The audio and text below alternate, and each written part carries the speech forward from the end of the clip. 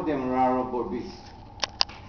I hereby declare in accordance with Section 96 of the Representation of the People Act, Chapter 103, that I have calculated the total number of valid votes of electors for the general election, geographical constituency, region number 10, Upper Demerara Berbice, which have been cast for each list of candidates for the election held on the 20th of November 2011, pursuant to Article 62 of the Constitution. Number of registered electors, 24,065. Total votes cast, 15,816. Rejected votes, 232. Valid votes, 15,584.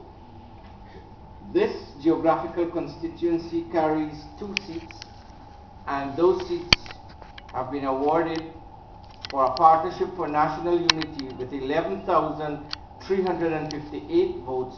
Those two seats have been awarded to that party. Alliance